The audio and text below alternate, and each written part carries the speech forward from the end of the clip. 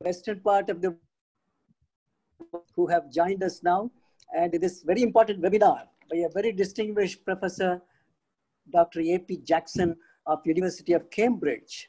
And he is a young cell biologist who is working on ion channels uh, and he is making very seminal contributions in this field. So we are all here to listen to him on a very, very important topic of voltage-gated sodium, uh, sodium ion channels. So I welcome all the participants, all the viewers from within Amity and also the guests from outside Amity who have joined us at this webinar. And on behalf of founder president, Dr. Ashok. Chauhan, who has founded this Amity Universe today, which is 11 universities in India and 17 campuses abroad and 28 schools. And total number of students is 175,000 students and 10,000 faculties, about 5,000 PhD scholars and research fellows. So it's a huge Amity universe and created by Dr. Ashok K. Chauhan. And he himself is a chemist himself and a chemical engineer, PhD in chemical engineering, specialized in polymer technology, and he is spearheading universe. And Professor Jackson, we are here to creativity, promotion, promoting the uh, innovation abilities, problem solving abilities, resilience to face challenges, and also to be a good human being. So above all, the skills as well as behavior and values we are imparting to our students. So we want to learn from you from University of Oxford, who is one of the highly ranked world ranked university and who have churned out many leaders for the whole globe. And so we are very proud to have today one very distinguished professor from uh, that University of Cambridge. And uh, we are also joined by a number of uh, PhD scholars, research scholars, and also our faculties, brilliant faculties and within Amity, as well as we have also invited some guests from outside. So I welcome each and every one of you. Uh, I'll, I'll give a little background. Today, uh, we have started in this COVID Amity is continuing its quality education through online education. And also we are promoting research and innovation in all campuses, even during this COVID situation. And we are writing papers, publishing papers uh, in good journals like Nature, uh, Science, and also the Cell, uh, Material Horizon, and a number of good journals. So there was a thought, a very good initiative from our chancellor and the president of the foundation, Dr. Atul Chauhan. And he said, why don't we start a global research network on novel viruses? Today it is COVID, uh, coronavirus. Tomorrow it could be something else. We keep hearing about MERS and Zika and many, many things emerging. So why not we start a global network so that we churn all our brain, we connect our brains together for synergy and ultimately bringing out novel ideas as a, on a consortium approach, we will work and find solutions to the present and emerging problem. So that is how the whole genesis of the network. And Professor Jackson, thank you very much for joining the network.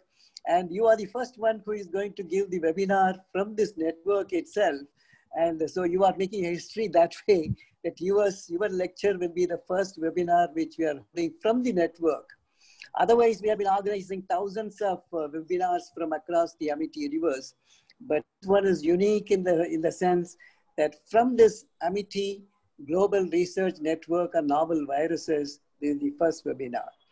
And uh, now with this preamble, I also welcome the panelists. I must appreciate my colleagues, you know, two of them, Dr. Somnath Pai as well as Mishi Vasan. And the young faculties in Amity Institute of Virology and Immunology who have been driving this global network and they have been in contact with you. And uh, so today, it is because of uh, the Manish Dwivedi. He is from our Lucknow campus, Amity University, Uttar Pradesh, Lucknow campus. and he is a brilliant young faculty and who has connected with you. And through him, this connect came. And thank you very much, uh, Nish Dwivedi. We will be hearing you also uh, as a panelist subsequently. Thank you very much. And founder president started this Amity Institute of Virology and Immunology more than 10 years ago. And knowing that the virology is going to assume a great relevance. So he's a really a visionary, Dr. Chauhan. And he started this, and today we have a number of faculties, students who have passed out, and they're all in great institutions. So uh, some of them, they are also interacting with you. So this institute is doing a remarkable job under the leadership of uh, Professor Narayan Rishi, who is the director, the founder, uh, director of that institute. And also he is now spearheading and as a coordinator for the all activities of Amity Institute of Virology and Immunology. This uh, preamble, I welcome you all for this webinar. And uh, Professor Jackson will be introduced by uh, Dr. Dwivedi himself. And this topic is very interesting. Because if you see today, the whole human physiology, the life starts with the ion channels. You know, the, at the basic cellular the action potential creation is nothing but sodium, potassium, uh, uh, active transport across the membrane, cell membrane. And you have other channels like calcium channels. And uh, so those ion channels are the one which gives the whole life. And this electrochemical reaction which is taking place and the ion. And the Professor Jackson is working on a very important area, the sodium ion channels. That too, voltage gated sodium ion channels, because you need the energy dependent voltage gated sodium ion channels. And this plays a very important role in many areas. And he has made seminal contributions in understanding the mutation of this sodium ion channels in inherited the cardiovascular disease, pain syndrome, and many, many areas, including he has noted there's an upregulation of this uh, voltage gated potassium ion, uh, sodium ion channels in cancer and also even in the epilepsy. And he has also uh, tried to use this for early diagnosis of cancer because you have the upregulation of voltage gated sodium ion channels.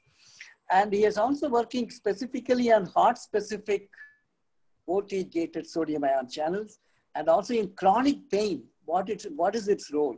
So all these areas, he has made uh, immense contributions in the field. And Professor Jackson, we welcome you, Amiz. You are a very, very distinguished person who has made seminal contribution, published papers in JBC, a very important journal, which is very difficult to publish in JBC, the Nature, Nature group of uh, uh, the uh, journals. And I welcome you with this preamble. I welcome you for this webinar. Now, I would request Dr. Manish. He is a, a faculty, very uh, dedicated faculty. He's a DST Inspire faculty. There is a Amity University, Uttar Pradesh, Lucknow campus. And uh, so I would request Dr. Manish. So uh, can you just briefly introduce, I have mentioned about his work, but over to you to give a formal introduction about Professor Jackson. Okay. Over to you, Dr. Manish Dwivedi. Thank you, sir. Thank you very much, sir. So, uh, good afternoon, everyone uh, present here. And uh, it's my really, it's my pleasure to introduce our today's guest, uh, Professor A.P. Jackson, uh, to whom I have a contact since long ago. And so, Professor A.P. Jackson is from the University of Cambridge. And uh, here I'm going to welcome Professor Jackson for the inaugural webinar lecture under the Global Research Network on Novel Viruses. So it's a great pleasure for me to introduce our esteemed speaker today who is going to talk to us about the voltage gated sodium channel and their role in the human health and diseases. And this talk, of course, going to be uh, very interesting because of uh, the wide range of involvement of these channels in a human health and diseases. Professor Jackson is our senior university lecturer in the Department of Biochemistry, University of Cambridge, and a teaching fellow at Sidney Sussex College, Cambridge. He obtained his doctorate in clinical biochemistry at Bio Cambridge, clinical biochemistry, at Cambridge and carried out postdoctoral research at the Department of Cell Biology, Stanford University. His, major, his major research interests are the investigation on structure and function of voltage gated sodium channel, especially the regulatory beta subunits, how the beta subunits are actually correlated with the functioning of sodium uh, channels. And he's also interesting into development of quantitative proximity proteomics methods that can be applied to complex two-dimensional cluster of protein assemblies on the plasma membrane. He has developed a novel method of quantitative proximity proteomics that is called selective proteomics proximity labeling assay using tyramide and as abbreviated as a SPLAT that assists to identify molecular near neighbors of selected plasma membrane proteins. This method has wide application to many problems in the biomolecular sciences. He has published a large number of research articles in various journals of high repute like Nature Publication Group, JBC, Oxford Journal, etc. And so with this uh, welcome note and with the special excitement, once again, I welcome Professor Jackson to please join us here. And we are really eager to hear you this talk. And I also uh, I request to all audience, please uh, keep posting your queries during the session in a, a question answer box so that I would take all the questions at the last of the talk during the question answer session. So now I, once again, I welcome Professor Jackson. Thank you, Dr. Manish. Uh, now we are also happy to uh, inform you that founder President Dr. Ashok Chauhan has joined us also. It is it's a great fortune that he is able to also find time to join us at this webinar. May I now request Honorable Founder President Dr. Ashok K. Chauhan to give his initial brief remarks, uh, opening remarks at this webinar. And it is his brainchild to have this webinar as well as the whole network, Amity Global Research Network, under his blessings, Dr. Atul Chauhan has announced this. So over to you, sir. Dr. Ashok K. Chauhan, please. Dr. Selvamurthy, very well started. I was hearing your comments and your opening remarks. Dr. Manish, you have also very well depicted the worthiness, the experience, and the brilliance of Dr. Jackson. I am very eager, very excited, very pleased on this webinar because that will act as a mind changer for our researchers so I would say I wish Dr. Jackson my heartiest compliment for sparing his time. I would come back again after hearing all the deliberations. I will, Manish, again come back after hearing all deliberations. I will hear every word. I'm so excited. Thank you very much to all panelists and all participants. Thank you, sir. Thank you very much, sir. Thanks for joining us. And now may I now request to deliver his webinar on this very important topic, which he has chosen, getting to grips with voltage-gated sodium ion channels in health and disease. Over to you, Dr. Jackson. So, so thank you very much, everybody, for that uh, very gracious introduction. Uh, I, uh, uh just to be absolutely clear, can everybody hear me? If, if you can't, then I guess you'll have to yeah. contact manager or something. But anyway, I'm assuming that everybody can hear me. So yes, so thank you very much. It's terrific to be invited and actually be part of the Image uh, uh, uh, group. Um, I have to say up front, well, first of all, I didn't realize actually that I was going to be the first person to give these talks. So I feel uh, very honored indeed. But also, I have to tell you that I'm not going to talk about COVID or viruses. Um, uh, we do have a COVID project actually, but it's just literally been funded uh, this, uh, uh this, this month and it won't start until September. So I have no data about that. So instead I thought I'd tell you about our ongoing work, the work that we've been involved in in the last ooh, 20 years actually, looking back on it, about the, uh, the sodium channels. And I thought it would be quite um, interesting, I think, because there's a, I know that there's a lot of people, physiologists, electrophysiologists, structural biologists, uh, um, and so on, um, and uh, our work touches on many of those aspects. So that's what uh, I'll talk about. And it's really the voltage gated sodium channel, particularly the role of uh, a subset of regulators, small regulatory molecules, the beta subunits. So um, just in case, just to give you a very basic background, uh, I'm sure most of you probably know this in outline, but it's worth going through the background uh, in some detail so that everybody uh, is refreshed uh, and understands uh, where we're coming from. So the voltage gated sodium channels are critical components of the action potential and the action potential is the mechanism by which nerves and muscles talk to each other basically. Um, Bill Catterall, one of the great pioneers in the sodium channel work, uh, once had a review in which he said, every thought that you think depends on voltage gated sodium channels. I thought that was a terrific way to start a review, but it, and he's right, of course, because all the nerve communications in your brain and your skin and, and the peripheral nerves, all the rest of it, all the contractions of the heart and the muscles depend on voltage gated sodium channels as part of this action potential. And the action potential uh, involves the sequential opening and closing of sodium channels and potassium channels. And the reason why it can work is because in, in, in eukaryotic cells, vertebrate cells in particular, there's an imbalance between charges across the plasma membrane. So uh, first of all, can you can everybody see this little arrow that I'm tweaking around? Is that yeah? Okay. So there is um, a higher level of sodium uh, of, of, sodium ions outside the membrane compared to inside, and there's a higher level of potassium ions inside than out. Now, as long as the sodium and potassium channels are closed, then there's a barrier, and that difference will be maintained, and that, of course, will generate an electrochemical gradient.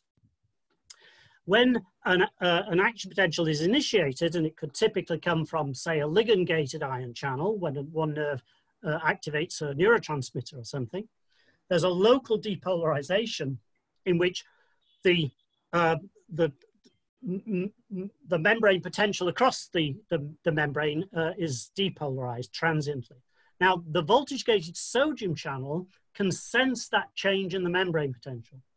And if the membrane potential rises above a threshold, then the sodium channel will open. And because there's more sodium ions on the outside than inside, you'll get this rush of sodium ions into the cell and that will depolarize the membrane further. So you get this sort of positive feedback effect.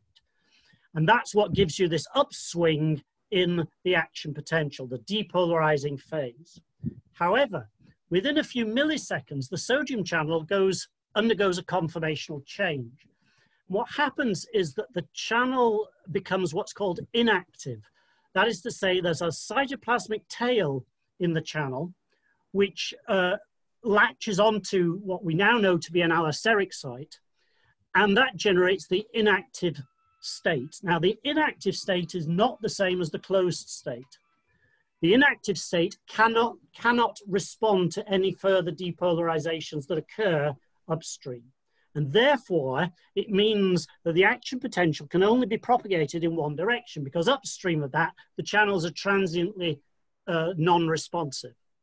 However, within a few milliseconds again, the channel resets and it goes back to the closed state. And when it's back in the closed state, it can then respond to a further depolarization signal.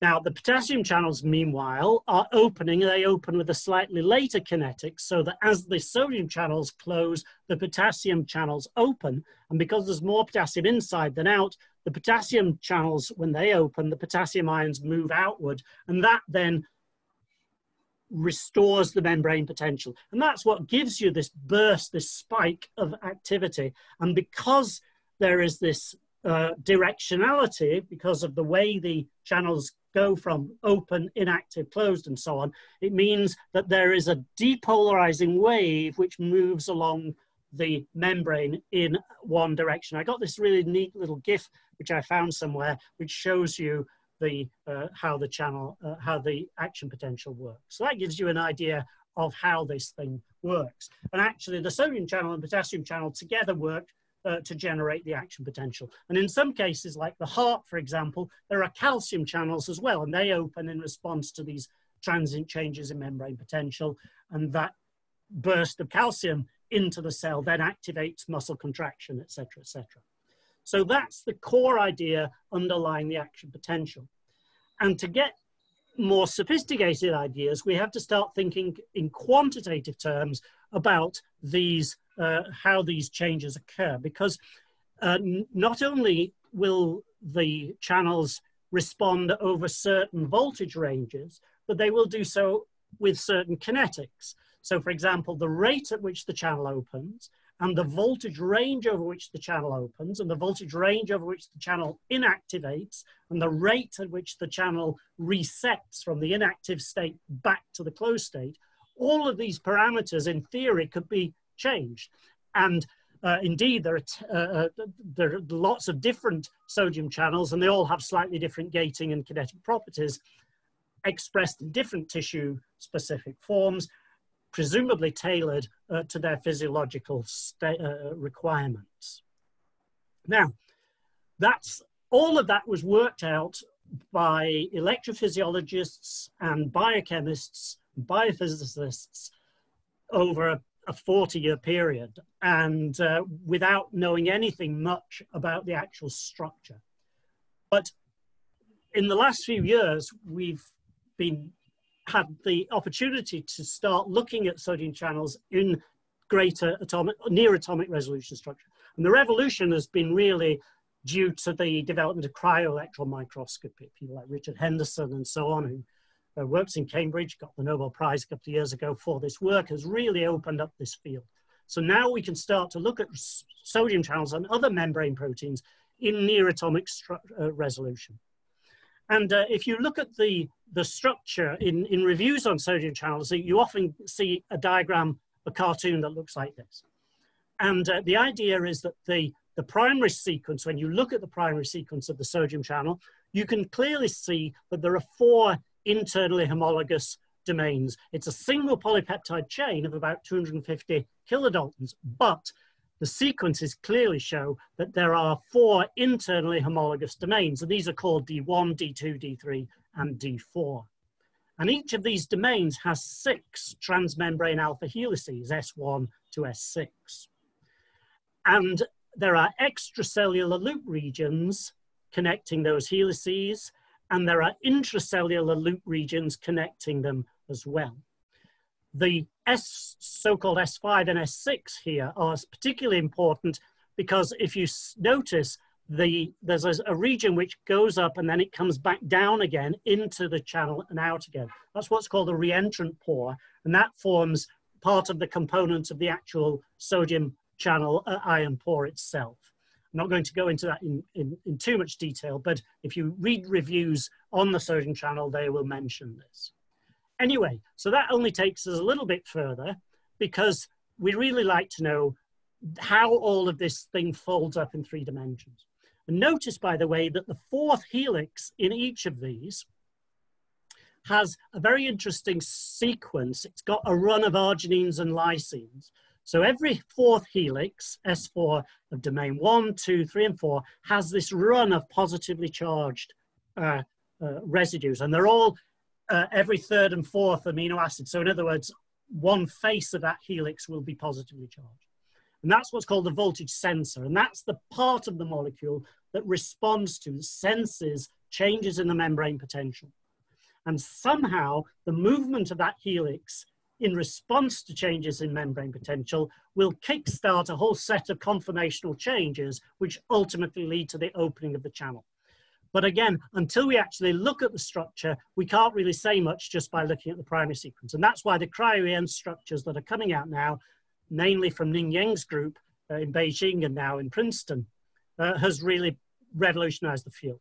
Anyway, so here is a sort of generic sodium channel to give you an idea. And I've colored the domains uh, differently so you can see where they are. So in this case, we're looking from the top down and from this case, we're looking at the side view, and there's the membrane, the lipids of the membrane.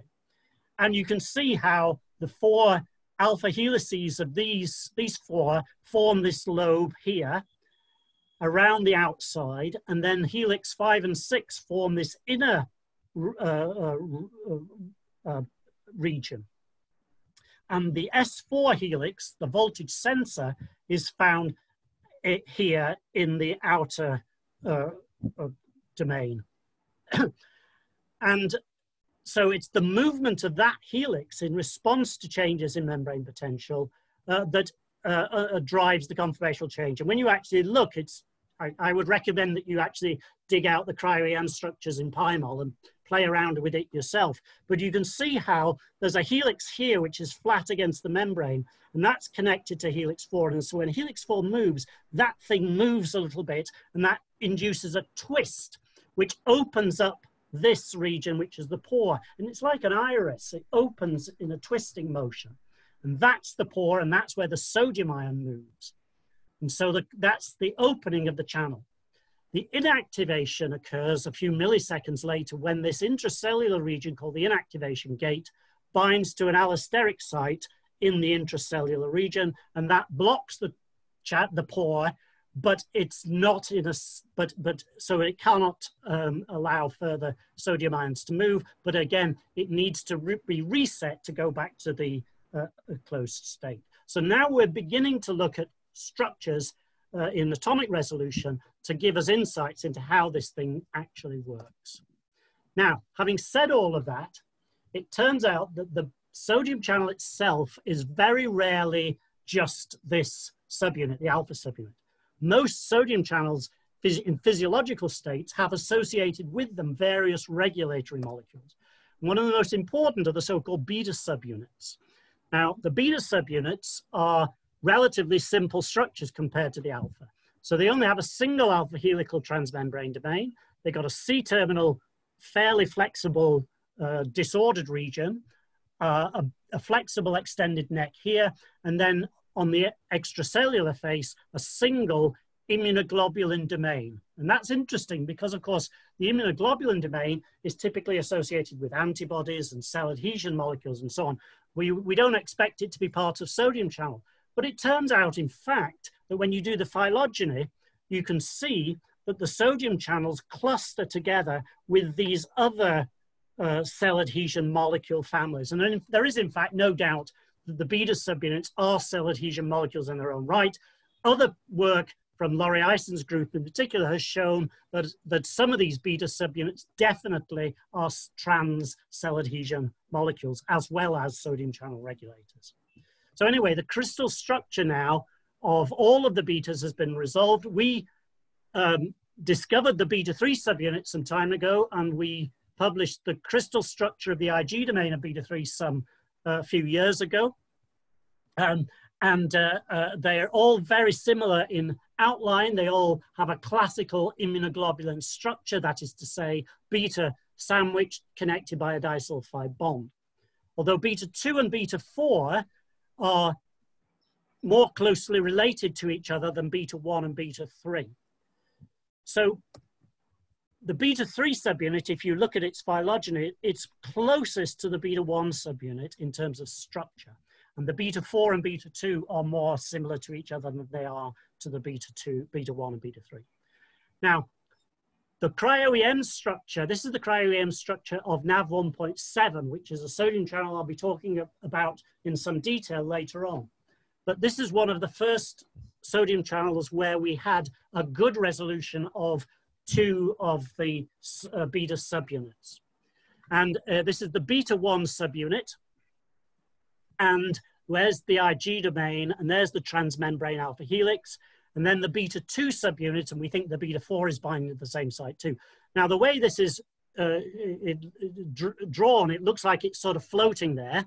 Um, it turns out that the beta 2 and the beta 4 are disulfide bonded to the sodium channel because they have a, a free cysteine. And that's presumably why they're held together strongly and covalently. The transmembrane domain in this structure has not been resolved, which suggests that by the time you pull this thing out of the membrane and do the cryo-EM, uh, this uh, transmembrane domain is not tightly associated. The transmembrane domain of the beta-1 is bound very tightly and you can resolve it. The C-terminal, interestingly enough, is not resolved and neither is the C-terminus of the alpha subunit in these cryo-EM structures. So we think that this cryo-EM structure is looking at one particular conformational state for various reasons, we think it's most likely to approximate the inactive state. Uh, and under those circumstances, then the C terminal domain of the alpha and the C-terminal domain of the beta-1 don't seem to be resolved, even though we know from other work that those two uh, C-terminal regions can interact. Anyway, so that's the best structure we have for an alpha-beta pair. But as I said, we're particularly interested in the beta-3 subunit, uh, and unfortunately, uh, we don't yet know where the beta-3 binds, okay? And uh, so that's one of the major things that I'm interested in developing and, and looking at. Looking at the structure and the conservation of structure, as I mentioned, it's beta-3 is most similar to beta-1.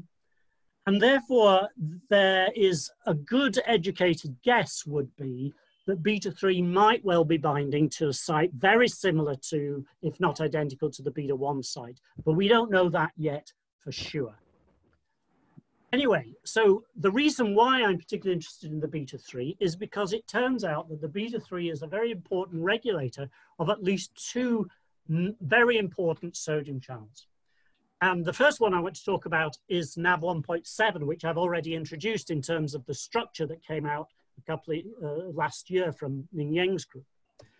Now, NAV 1.7 is a, a, sodium channel which is expressed in peripheral neurons of the dorsal root ganglia. And in fact, they're specifically expressed in the DRG C fiber neurons, which are involved in pain perception. There's a lot of good evidence that NAV 1.7 plays a very important role in pain perception. And uh, the evidence, for example, is that uh, there are some very rare individuals who literally cannot feel pain. And they have mutations, inactivating mutations in NAV 1.7. Now you might think actually a world without pain would be quite attractive, but actually it isn't. Pain has a very important biological function. It warns us when damaging things are happening to our bodies and it motivates us to get out of the way quickly. And the problem that these people, these patients face is that they don't realize they're doing damaging things to their body. So they put their hand on a hot plate or something, or they, they, uh, uh or they, they break a, a bone or something and they literally, they don't realize it. Um, I actually met one of these women once and she told me that um, when she was a little girl, she used to jump off the roof of her of the of the uh, garage onto a concrete floor. She thought this was kind of fun, and she did this. She kept doing this and kept doing this, and eventually she broke her kneecap. But she didn't realize that she'd broken her kneecap until about a week later when it became seriously infected. Um, and uh, so that's what happens to these people all the time. But the fact that they exist and the fact that they have this very precise um, pathology. Everything else, by the way, about these individuals is normal. They develop normally, they have normal IQs and all the rest of it. And that tells you that NAV 1.7 is very specific for pain perception. And therefore, there's a lot of interest now in developing drugs that could target NAV 1.7 as a treatment for chronic pain. Now, the beta 3 subunit is also highly expressed with NAV 1.7 in these DRG neurons. Now, we generated a beta 3 knockout mouse uh, some time ago, and all we haven't published this yet, uh, but it turns out that they have a subtle pain defect. So they're not like the patients who can't feel pain, it's just that they're less sensitive uh, to pain. So, in other words, beta 3 is regulating NAV 1.7, it's fine tuning the gating. Um, uh, to the point where uh, it definitely affects uh, the perception of pain. And so what we've been doing is we've look, been looking in more detail at this. Um, we've started with a stable cell line that John Wood's group in London gave us, and we've made a stable uh, cell line from that, which is also expressing the beta-3 subunit. Now, these are just electrophysiology type experiments, and they can tell you that the, what's called the peak current, that's basically a measure of how much channel is in the membrane, uh, increases in the presence of the beta. And in fact, the betas are probably, as well as regulators, they're probably uh, sort of chaperones as well because they help fold the proteins in the ER. But they also shift the voltage range over which the channels uh, inactivate. And the reason why that's important is the resting membrane potential in a neuron is down here somewhere. So if, if there was uh, if there was no beta subunit, then about 50 or 60% of the channels would be inactive, which means that that would those would, the 40% in, uh, uh, sorry, the, the 40% inactive uh, would not be available uh, uh, to open and close. And therefore, the sensitivity of the channel would be compromised. However, when the betas bind, they shift this curve over to the right, which means that at that resting potential now 100% of the channel uh, is uh it can, can respond. So, um, and again, that's consistent actually with this subtle pain phenotype I mentioned earlier. So we think that that's important, but and but and the other thing that's interesting is that the activation does not seem to be affected. Now the reason why that's important is that the four different subunits of the channel are specialized. So the movement of S4 in D1, D2, and D3 are involved in the opening of the channel, the activation. Whereas the movement of S4 in D4, the D4 domain, is, is initiates the inactivation process. And the rate at which this S4 moves in D4 is slightly slower than the movement of S4 in D1, D2, and D3. So in other words, the channels open very quickly, and then within a few milliseconds, the S4 and D4 moves, and that inactivates the channel. So the D4 region is involved in inactivation. The D1, 2, and 3 are in activation. So that suggests to us that the beta 3 subunit is probably somewhere around D4 somewhere. And uh, we've been using a number of different uh, approaches to get a tighter uh, uh, resolution on this. And one of them that we've been using is the use of single chain antibodies. Now, this is a technology which uh, has been developed recent, well, I guess in the last 10 years or so, um, and um, allows you to make monoclonal antibody structures, but without using any mice or animals and so on. Do it a lot faster. So the whole thing has now been moved from the animal into E. coli, into an in vitro, in, in vitro assay. Basically, you take the cDNA for a, an, an antibody variable region. So not the whole, this is the whole antibody, the IgG, which has all of these different domains. But what we can do is we can just cut out the single variable region domain from the Fab fragment. So it's not even a Fab fragment. And then we can express it in E. coli, and the antigen binding sites, the variable and the hypervariable regions, can all be randomized to generate a library of uh, uh, uh, uh randomized uh, single chain antibodies. And then you can express that in E. coli. And actually, the way you would normally do it is that you would express it as a on um, an M13 type phage for convenience. And that allows you then to screen particular antigens of interest or particular proteins or particular fragments of proteins. So we've been using this approach to generate single chain antibodies to the beta subunits and also to the sodium channel alpha subunits where we think the beta 3 Ig domain should bind.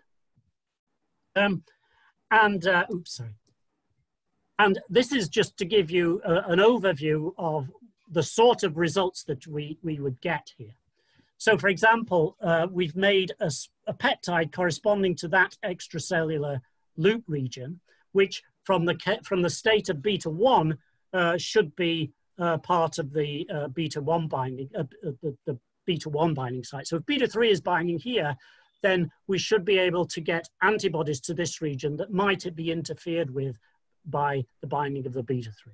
And this is just a summary of the ELISA type assay that we would get in our screening assay. So we would take a protein or a peptide corresponding to that, absorb it onto a plastic, and take this the whole library, which is this thing, and then uh, put the N13 phage on them, pull them out, reclone them, uh, uh, and see what we get. And by that, a process which it takes a few weeks, but it compared to making traditional ways of making an antibody, it's quite a, a fast process. And you can see already that we got several uh, good hits uh, there.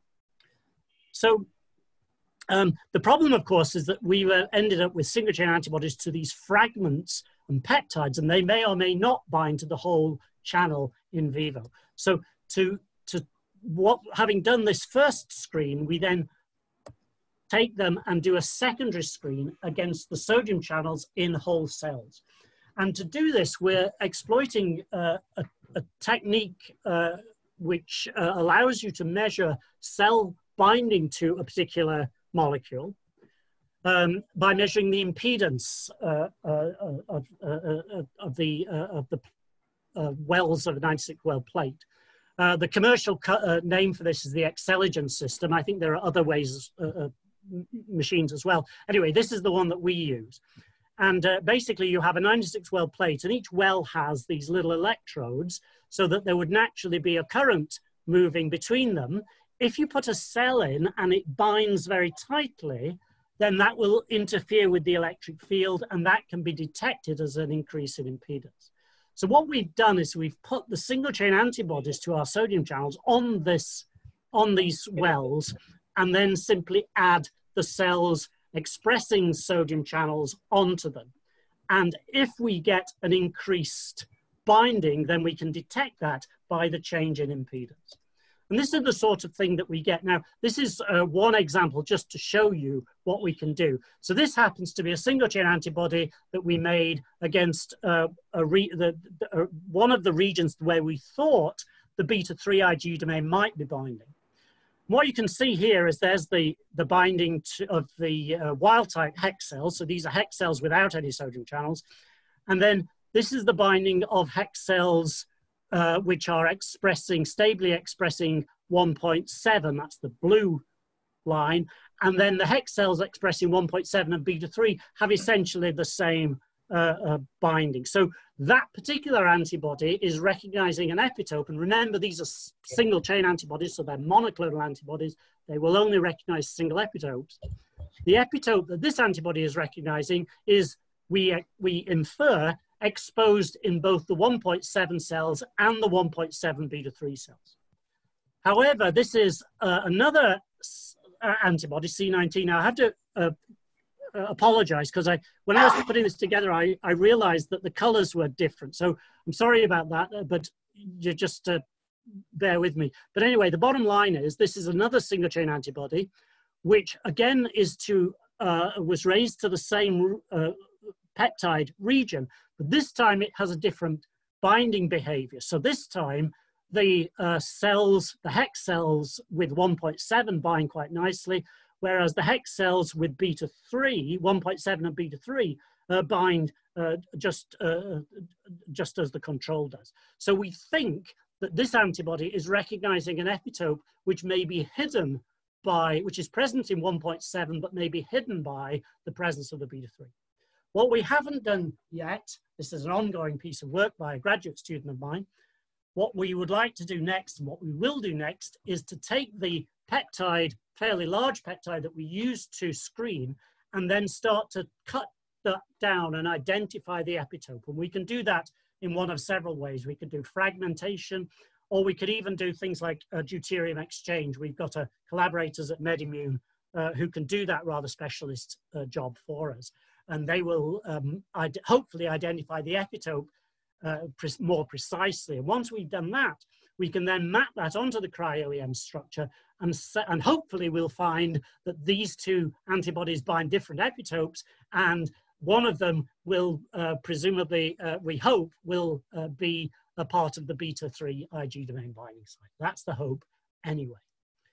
Um, the other strategy that we're using is uh, to uh, use some other natural proteins that bind to sodium channels. Now, this is a, a, major area of research actually within pharmacology because remember I said that there's a lot of interest in um, developing drugs that can target NAV 1.7. Because if we did get that, it would be a very, it could potentially be very useful in the treatment of pain. And uh, unfortunately, it turns out that this is very difficult because uh, the, all of the different sodium channels are very similar to each other in terms of structure. And uh, if you get a small molecule that binds to a NAV 1.7, um, it's almost always the case that it will bind to some of these other sodium channels as well.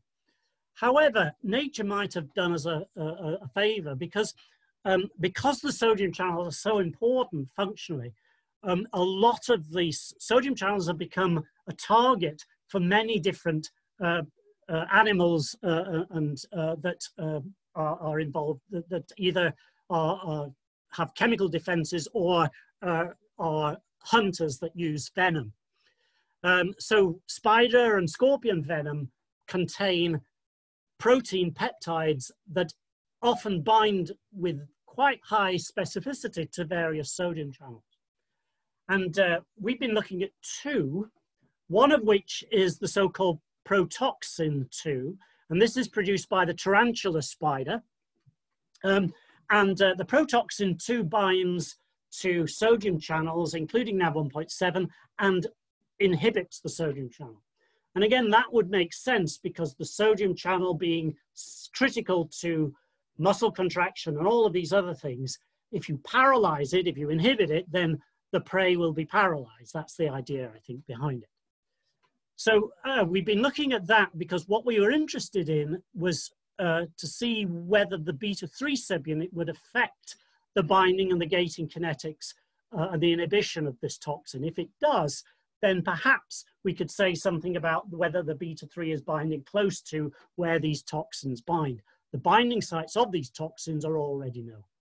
So that's one toxin we've been looking at. And the other toxin we've been looking at is called OD1, and it's from uh, the sand scorpion. Now, OD1 has a, a different property and a very interesting one, which probably um, doesn't make it a very useful tool in terms of therapy, but it's still an, an interesting from uh, a functional uh, point of view. Because OD1 has the opposite effect. OD1 binds to NAV1.7 and it stimulates it but it's very specific for 1.7. Now, the consequence of that is that if you get bitten by this scorpion, it will be very painful. And we suspect that the reason this scorpion has this venom is actually as a defense mechanism. Because if you're a scorpion, you're still quite a small little creature compared to some of the other big things that might want to eat you.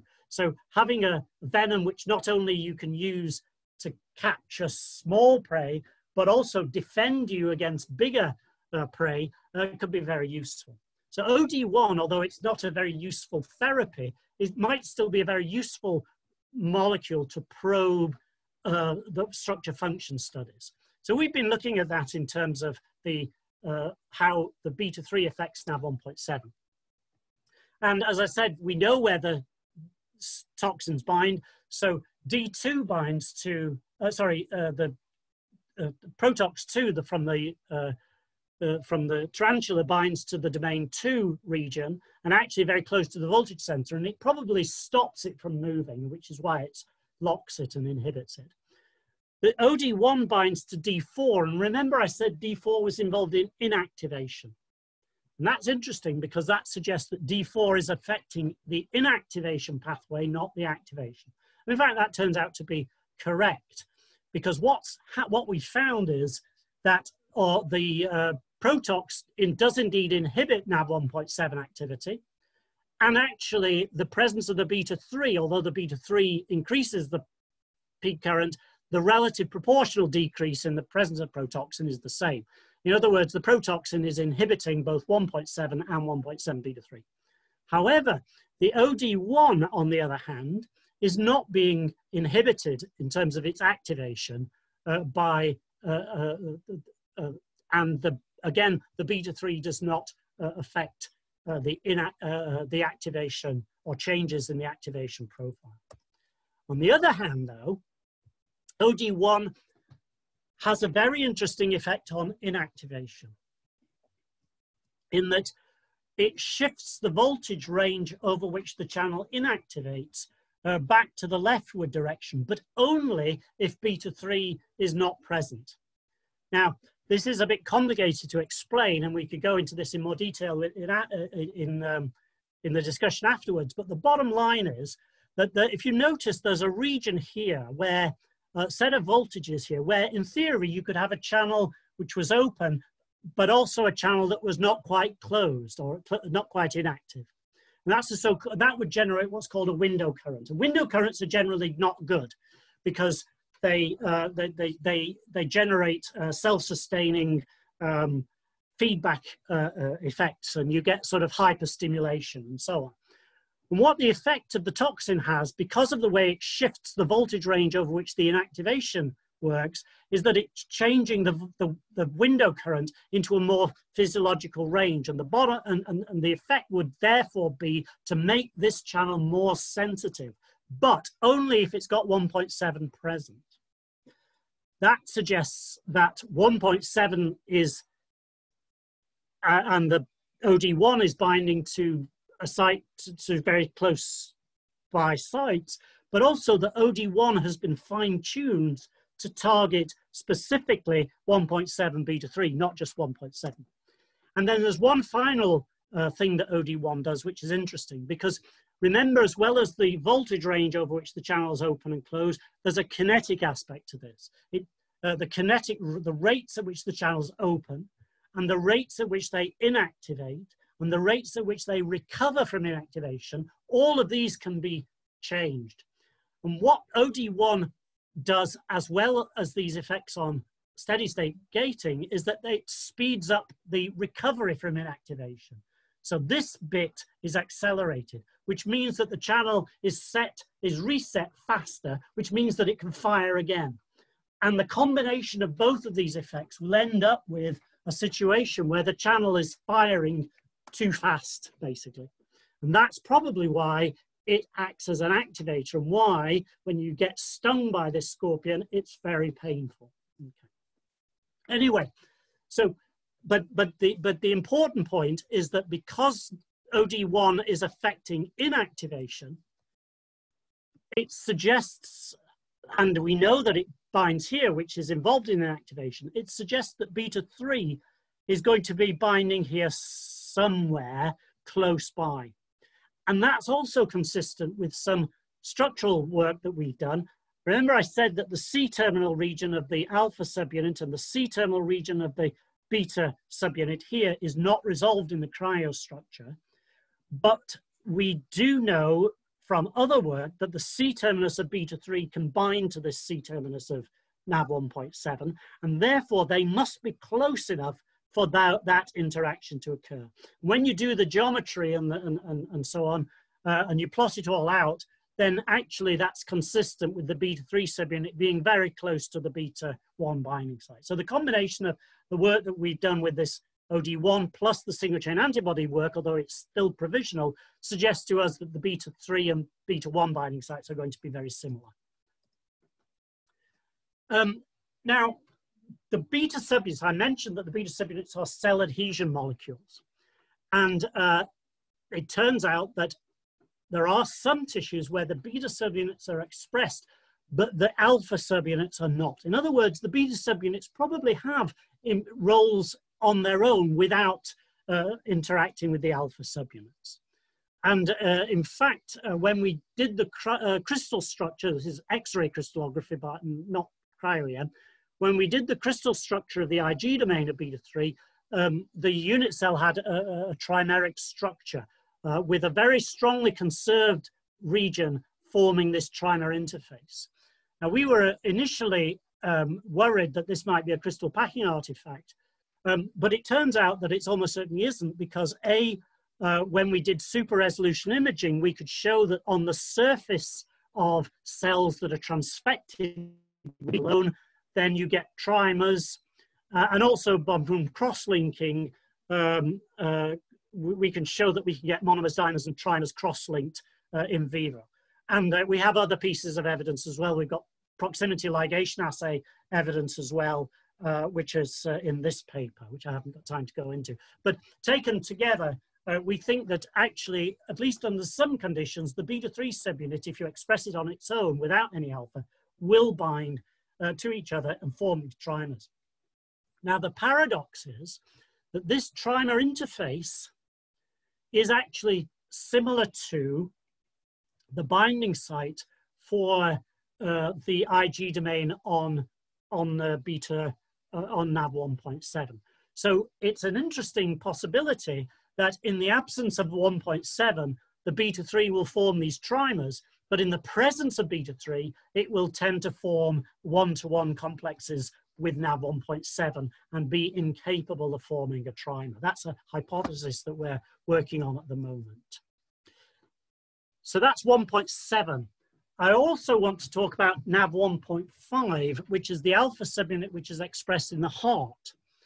And again, the beta 3 subunit is a powerful physiological regulator of NAV 1.7. Uh, we know that for from various reasons. We, we can immunoprecipitate 1.5 and beta 3.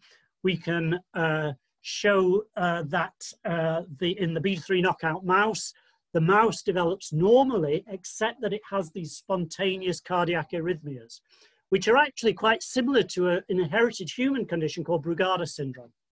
And lo and behold, it turns out that there are some people with Brugada syndrome who have mutations in the beta 3. Uh, so, for all of these reasons, uh, we were very interested in how the beta 3 can fine tune 1.5 as well. Um, so the 1.5 is expressed on the surface of these cardiomyocytes. Cardiomyocytes are in, interesting, are muscle fibers, and they form these connected tubes, fibers, in which each of these is a cell, and these are connected via what's called the intercalated discs. The intercalated discs contain these connexin molecules which form uh, an electrical connection effectively between cells. Um, so that, for example, when the sodium channel opens on one cell and you get a sodium in, uh, in increase of sodium ions uh, during the action potential, the sodium ions can then actually pass across through the connexins uh, to activate the next uh, cell in, in the sequence.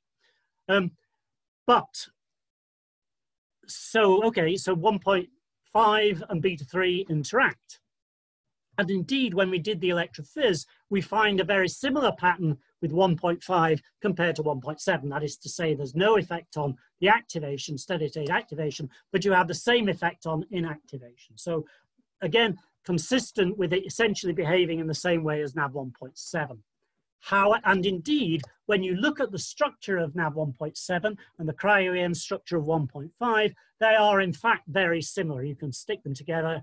Uh, they, uh, uh, uh they're very closely uh, uh, mesh together. And yet, we, when you look more closely, there is a subtle, but I think very interesting and I think very significant difference. And it's precisely in that region of the alpha subunit where we think the beta 1 stroke beta 3 Ig domain is binding. Because it turns out that, so here's the cryo-EM structure of 1.7, and that's the beta 1 Ig domain. And there's this residue here, it's the glutamic acid in 1.7. And in fact, that glutamic acid is found in all of the sodium channels except 1.5. In 1.5, it's changed to an asparagine. Uh, it's not quite the same residue because there are inserts and deletions between them, but essentially that is the same position. And not only is that moved from a negatively charged to a neutral amino acid, but of course it's actually in an N-link glycosylation site. And not only that, but there's a great dollop of electron density sitting right there, which we now know to be N-linked sugars. And remember in the cryo-EM structure, you can only resolve a couple of the sugar residues. The actual real structure, the actual real um, N-linked sugar is much bigger than that, but you can't resolve it because they're all flopping around. In other words, there's a great big dollop of sugar sitting here right where we think the Ig domain should be binding. And the consequence of that is that there isn't any real way in which the beta 1 Ig domain, or indeed the beta 3 Ig domain, will be able to bind to that site in the way that it does for beta 1. And that, I think, is very significant because even if the transmembrane domain binds at the same site, it implies that the Ig domains will be outward or flopping around. And given what we showed about how the Ig domains can form these dimers and trimers via a region which would normally be part of the alpha subunit binding site, we suspect that maybe what's going on is that the beta 3 is there to cross-link the NAV 1.5 sodium channels together on the surface. It's been known for a long time that NAV 1.5 on the surface of the plasma membrane and in the intercalated disc does indeed form these two-dimensional clusters. Uh, and indeed, we did some uh, super resolution imaging uh, analysis Um, and it turns out that it's a bit more subtle than I was expecting because it turns out that NAV 1.5 on its own does indeed cluster. But the presence of the beta 3 changes the geometry of the cluster, changes the relative orientation of the channels on the plasma membrane. And it's a subtle effect. This is nearest neighbor analysis, and these are the cluster radii, but they are highly significant differences. The problem, of course, is that we don't yet understand the functional implication of this. Neither, in fact, do we know much more about the actual structure because, of course, super resolution imaging can only get you so far. What we would really like to be able to do is to get down uh, to, um, you know, tens of nanometers resolution on the surface of the plasma membrane and then see the individual channels because then we would be able to map the individual position of individual channels and their relative positions relative to each other within a cluster. Anyway, finally, um, I'll just mention one other piece of work that we're doing, um, and that is, uh, uh, as, as you brought up actually in the introduction, the uh, relationship between sodium channels and cancer. Now, this is a very surprising result because most uh, cancers uh, are not in you know, electrically excitable cells and tissues. Um, however, it has been known for some time that things like breast cancer, for example, breast, breast cancer cells often express sodium channels. And uh, in particular, they ex actually express NAV 1.7, which is interesting in its own right. Um, and uh, not only that, but if you put specific inhibitors of the NAV 1.7 onto the cells, you you don't kill the cells. What you do is you slow down their the rate at which they can crawl through a substratum. In other words, their metastatic potential is affected, which is interesting. Why that should be is a very interesting question, which I don't know the answer to. It's possible that the cancer cell is using the sodium channel in a completely different function to its normal role in activating uh, in action potentials because I don't think breast cancers fire action potentials, right? Anyway, so um, given that we were all locked down for two, three months, um, my graduate student who found himself stuck in his, his, flat in London during the lockdown, I said, well, you know what you could do is you could start looking through some of the open source databases to see whether or not any of the sodium channels are known to be expressed in various tumors. Uh, and what he discovered was actually quite interesting because it turns out that the beta 3 subunit the gene for beta 3 is encoded by the SCN3B gene. The beta 3 gene uh, is, or the beta 3 is significantly upregulated in this set of cancers, which are the pheochromocytomas and the paragangliomas. And those are relatively rare tumors. They're often relatively benign. Well, they can be malignant. They're often benign, but nevertheless, they are uh, dangerous tumors. And they're relatively rare. Uh, so there aren't that many good markers uh, for pheochromocytomas. Um, so that's actually quite interesting. So why there's an upregulation of beta-3 specifically in these uh, pheochromocytomas, I don't know. But it's an interesting observation. And in fact, when again, when he looked at some of the other open source databases, and again, this is a different database, and he basically got the same answer. That's good. That means that we are pretty confident that beta 3 is indeed upregulated in these pheochromocytomas. We're now looking at pheochromocytomas and all the other sodium channels, and there are a couple of others that are particularly interested. SCN9A, which is the NAV1.7 protein. I'm afraid the nomenclature is a bit weird. But uh, again, what we find is uh, that uh, there is a significant increase in in NAV 1.7 in these tumors, but, but, the, but the beta 3 in particular looks very promising. So given that we are making these single chain antibodies and we're using them for functional studies initially and structural studies initially, but of course a single chain antibody is a monoclonal antibody and of course it can be used as the basis of an ELISA type assay or a clinical assay. So one of the things that we will be doing when we get back in the lab we have, uh, we're collaborating with a group at the endocrine uh, unit at Addenbrooke's Hospital at Cambridge, who have access to patient samples from, uh, with pheochromocytomas. And so we'll be testing whether or not our single chain antibodies, both to 1.7 and to the beta-3 subunit that we've been making uh, will be of some use as diagnostic markers in the first instance uh, to see whether or not uh, we can use that as a diagnostic test for pheochromocytoma. If, if, if indeed that works, then of course we could in principle also use these as a way of targeting the tumors because uh, it's uh, a well-established technique now to take a toxin or something or radioactive isotope or something and put them on an antibody and target it to cancers that way. So that's another aspect of our work uh, that we've uh, just started to do. And hopefully in the next year, when we get back to the lab, we can start to flesh that out.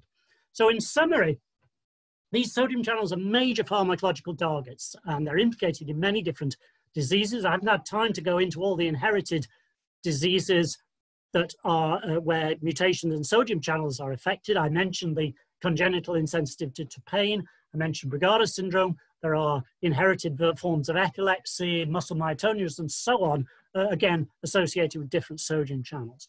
And uh, there's a huge interest in sodium channels as drug targets for all of that reason. And now the cryo-EM structures are coming out. We can start to sharpen up our structural hypotheses and functional hypotheses, if you like. We can see which bits of the channel are moving. We can map the mutants onto them and so on, and we can map on these beta subunits. Um, we're particularly interested in the beta 3 because of its effects on NAV 1.7 and NAV 1.5. Um, we don't yet know the location of the beta 3 on NAV 1.7 and 1.5. We suspect that they're very, it's very similar to the beta 1. We also suspect, for reasons I explained, the beta 3 will bind in a slightly different way to NAV 1.5 compared to 1.7. Um, and then an, another uh, major area of work will be to see whether or not the uh, clusters um, uh, can be uh, the, re resolved uh, better the actual organization of the channels within these clusters.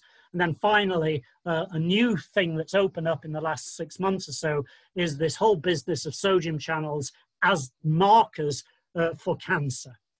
So I just want to say thank you to a whole bunch of people. Um, Samantha Salvage, Joe Reese, Samir Hamea are all postdocs in the lab. Sam did a lot of the electrophys on the 1.5 and the 1.7 and toxins. Samir did a lot of work on the uh, single chain antibodies, and Joe Reese did uh, a lot of the work on some of the cell biology and structural biology.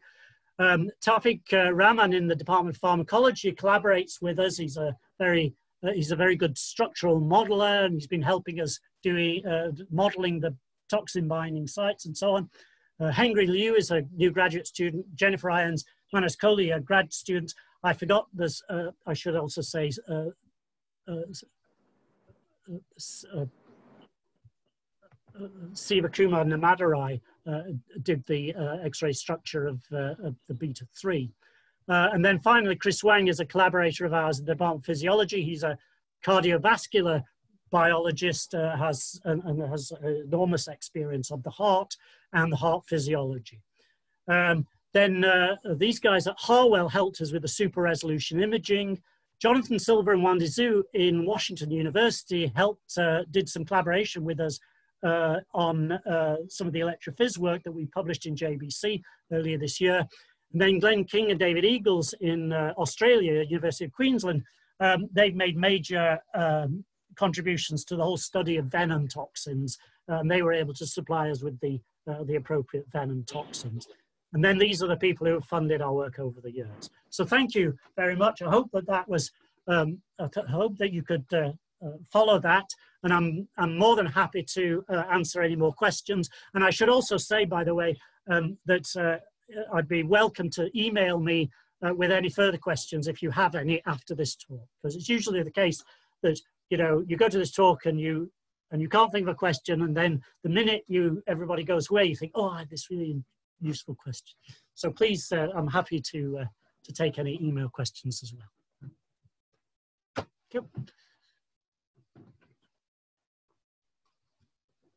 Okay, so thank you, sir. Thank you very much for such a informative and elaborative uh, information on sodium channels and their involvement in a uh, pain and uh, you know uh, heart cells as also in a cancer somehow. So now uh, we'll go for uh, some questions. Due to the time constraint, we'll take only few questions from the audience and then we'll go for another, another um, you know, talk or another session. So there's a one question uh, uh, from Suparna. There's a, uh, she's asking that uh, is is the in vivo stoichiometry or geometry of the sodium channels known? I mean, what stoichiometry the four alpha subunit form when the sodium channels are at work? So maybe oh. she's, yeah.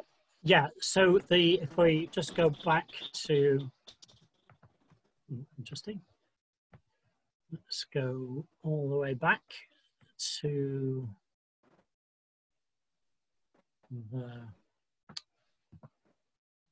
so the um, as I mentioned, this is a single polypeptide chain, but it has these four internally homologous domains, and this is a single polypeptide chain, okay? But it's a very big protein, it's 250 kilodaltons, but it folds up in this, uh, uh, this structure with a fourfold pseudo symmetry. These are not literally identical because there are different sequences, but they do fold in a very similar way. So although they're not literally identical, they are pseudo-symmetric. And so that's a single sodium channel. And then on top of that, you have, as I said, the beta subunits binding. So as far as we know, there's a one-to-one -one stoichiometry between the beta 1 and a sodium channel and the beta 2 and a sodium channel. However, the uh, super resolution imaging that I mentioned uh, uh, towards the end of the talk clearly shows that on the plasma membrane, these individual channels can form local clusters. And therefore, there must be some way of connecting them, at least in the context of a, of the of the plasma membrane.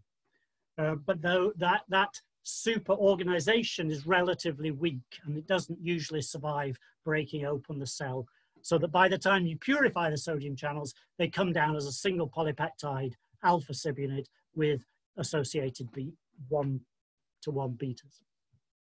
Okay, sir. Thank you. And uh, there's one more question from uh, Dr. Asima Bhattacharya. She's also in a panel. So she's asking that uh, does the membrane microenvironment be a factor in a beta subunit interaction with the rest of the subunits? And it's also, you know, I, uh, I, I also want to add one um, question which is related to that, that uh, what actually make this beta 3 subunit, uh, you know, to um, regulatory domain or regulatory subunit for the sodium channels. Sorry, say that again. Oh, how, does the beta subunit work? Is in other words? Yeah, means uh, what it makes to you know regulatory for the whole sodium channel. You know, there are so many other so that, subunits also beta yeah, one, beta two. That, yeah, yeah, sure. Please. That's a really good question, and the honest answer is that we don't know, but we know that if we just look at the beta one as a as an example, we know that the IG domain is important. So for example, if you chop off the IG domain, then that shift that I mentioned in the V half of, acti of inactivation, that, just, that goes away. So the presence of this beta subunit, some IG domain somehow is influencing the voltage sensors on the channel. And it is quite suspicious that they're sitting, it, this one is sitting right on top of the voltage sensor from this domain. We also know that these beta subunits are glycosylated. And in fact, there are some of the sugars which you can see in the cryo-EM structure are pointing down towards the, uh, the region where the S4 helix is. We also know that these sugars are sialylated at the tips, so they have sialic acids on them. And one idea is that the beta IG domain is just a way of presenting sialic acids close enough to that voltage sensor, that S4 helix, that the local field that the helix detects is slightly different from the bulk field. And that's what's giving you these shifts. What it doesn't explain is the kinetic aspects. Why do you recover from inactivation faster and so on? And that I think is something to do with the intracellular domain but unfortunately, the cryo-EM structures that we've got so far have not resolved the intracellular regions of the betas and the, uh, and, and, the uh, uh, alpha subunits. But that indeed is a very interesting question. And but with armed with these structures, we can now at least start to um, narrow things down and come up with more focused hypotheses. Oh, thanks. Oh, I'm sorry. The other question was about the lipid environment, wasn't it? Yes, uh, it was uh, about the membrane microenvironment be a factor in beta subunit interactions with the rest of the Yes. subunits. Yeah. That's yes, I right. the lipid microenvironment. Yes. Yeah, yeah. Yes, that's right. Because it turns out, and I, I didn't have time to go into this, uh, but it turns out that there's a very interesting cysteine in the beta subunit transmembrane helix, and it's very close to where we think the border is between the intracellular, intracellular face and the membrane. And in fact, it fits the consensus uh, of um, a myristoylation site. So it looks like this could be uh, and uh, it is known that these do accumulate uh, in uh, lipid rafts, for example. We also know that the lipid composition of the membrane around the channel can indeed affect the gating behavior, right? Um, so, uh, so yeah, that's another layer of complexity which I haven't got time to go into, but it's almost certainly the case that as well as these things are patching and forming these local patches, they're also localized in discrete lipid uh, microenvironments on the membrane. And that actually might have effects on uh, the gating kinetics as well. So there's, if you think about it, there's lots of, basically nature has come up with lots and lots of different ways to fine tune these channels. For a start, there are 10 different alpha subunit genes. And each different alpha subunit is expressed in a tissue specific fashion, and they have fairly obvious kinetic and gating differences, which are fine tuned for the physiological roles. But layered on top of that, you have the beta subunits, which can interact with these alphas, and they fine tune the gating back and forth. Then, indeed, the lipid environment, which could change them again. So, by the time you've added all, multiplied all of those together, you've got quite a large number of different combinatorial ways to generate lots of different sodium channels with subtly different effects. Okay.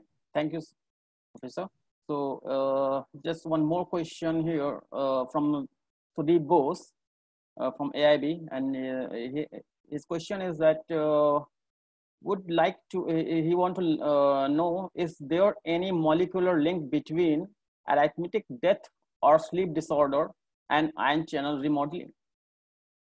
Between, sorry, they, Means is What? there any link molecular link between arithmetic death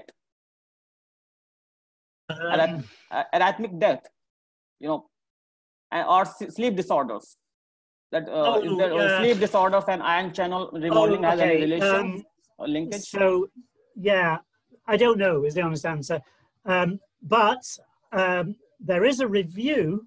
So Nieng Yan wrote this amazing review in which they, or well, probably not her, but somebody in her lab, went through all the data databases and all the literature and literally catalogued every single mutation in every single alpha subunit known and the associated dis- inherited diseases with them.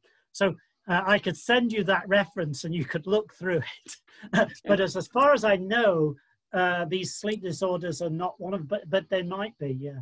I, I mean, that when I was at Stanford, they had this, um, they had this breed of dogs that had uh, these narcolepsy. And so when they got excited, they would literally just fall asleep.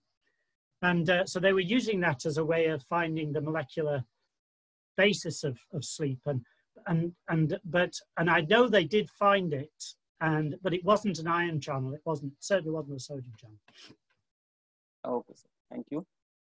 So, uh, as we have only one, I think we have a time for one last question. So, I take one question from uh, uh, Kirti Rani, and uh, he's asking that uh, that can the channel channelopathy lead to any inherited disease, or for this, which proteins are mainly responsible for either peripheral proteins or integral proteins or plasma of plasma membrane? Means yeah. So um, uh, as I mentioned there are a number of inherited diseases associated with different sodium channels. Um, so the one I know best is Brugada syndrome actually. These are the cardiopathologies so there's a large number of inherited um, heart diseases um, Brugada syndrome. There's another one called long QT syndrome. There's another one called sick sinus syndrome. And they all have varying characteristics, but a typical uh, effect with um, Brugada syndrome is that you get spontaneous arrhythmias. And often this can happen without warning. Sometimes it happens if the heart's stressed. So for example, if you're running, you can, it, will, it can trip the heart into these arrhythmias. There was a case uh, of a footballer uh, some years ago and uh, he, um, he literally, he, he died uh, halfway through a match because he just literally had a heart attack. And it was only after he died, when they did a post-mortem, that they realized that he had Brugada syndrome. So this is actually quite serious uh, uh, business. Now, it turns out that there are hundreds of mutations in NAV1.5 which, which can potentially cause Brugada syndrome. And as in that reference I mentioned from Nieng Yan's group, that they, they, they list them all. But interestingly, there are lots of other genes that are that can be mutated in Brugada syndrome. So there are a lot of patients with Brugada syndrome that have normal sodium channels and normal beta subunits.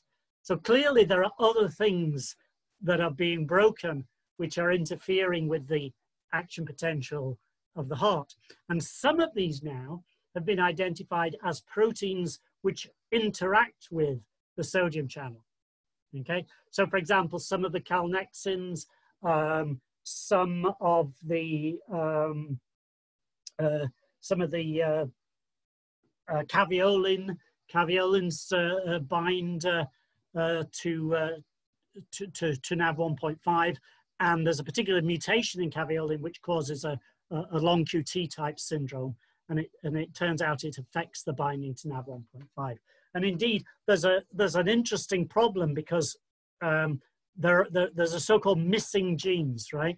So when people come up with these patients with Brugada syndrome, oftentimes they find they do all the standard tests for you know NAV 1.5 and beta and so on, and not un, uh, uh, quite often they find that these patients have normal sodium channels, and therefore this patient, which clearly has Brugada syndrome, there's something else wrong, and it's often not easy to spot what that other thing is.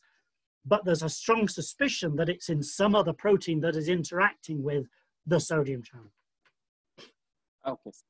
So uh, I think I can take one uh, some more question here. So uh, as uh, we have a few minutes. So uh, one question from uh, Sudeep. Uh, yes. I think Manish. Yeah. Yes, sir. Oh, yes, sir. So I think we. Uh, can you hear me?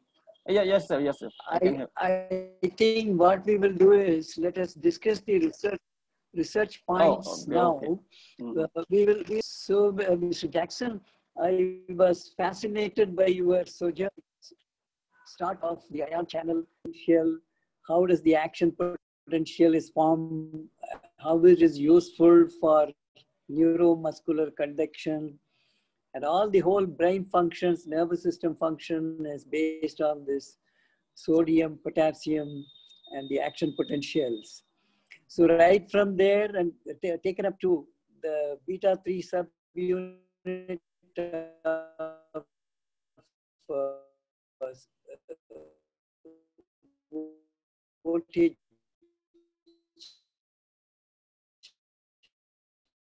dependent the, uh, connection sodium channels, uh, sodium, sodium channels. It, it's so uh, interesting that I wanted to know, you have developed a very important method, the quantitative proximity proteomic method. Oh, yes. yes. That can yes. be applied to complex yes. So I, I didn't clusters. Expand on this, please. This new quantity. I, um, yeah, I I didn't have time to go into that, and I thought I'd just focus on the sodium channels. But the other big thing that we are interested in is indeed proteomics to look at surface proteomes. Remember, I talked about the sodium channel in these clusters. We'd like to know what the mo molecules in the clusters are, and we have methods. We develop proteomic methods that allow us to label proteins in the vicinity of a target. Uh, we call it SPLAT, but other people have developed similar methods. Um, and we're, we are actually using that to look at the neighbors of the sodium channel. But yeah, it's, um, I mean, I'm happy to, uh, to go to, to talk to you about it in more detail if you want. I mean, yeah. I just Yeah, right. point to the. No, I think that's good enough. Now, one more comment I would like you to make on cancer because there's a lot of scientists working in Amity University, Amity Group uh, in cancer, and they have formed a cancer. So we, I would like to know how does this NAV upregulation in cancer? We can use it as diagnosis of cancer, a particular type of cancer that you can use this NAV up, upregulation. So can you expand on this? How can you use it for the early diagnosis? So, because um, in the case of pheochromocytoma, the beta-3 is not normally expressed in the surrounding normal tissue, but it looks like the individual pheochromocytomas are expressing beta-3. So, for example, if you use that as a marker in histology, for example, you could you could use that, um, and we're we're investigating that as a as a plausible uh, possibility. We know, for example, that um, uh, uh, to to treat these pheochromocytomas, you uh, you can remove them by surgery, which is often difficult to cut out literally all of the tumor. And uh, there are methods that you can use. You use fluorescent tags if you've got a good antibody to a tissue-specific marker. You can use that as a guide, and so that's another possibility that we're looking into. Yeah, it's, it's amazing. You can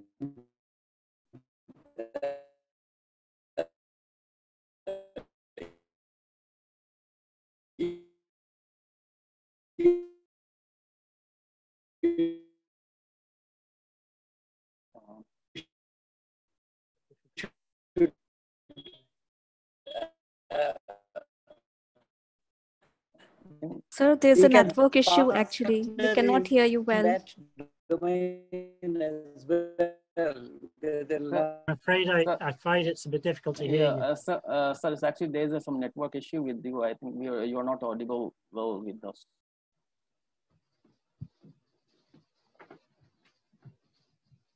Uh, we are not able to hear you, sir.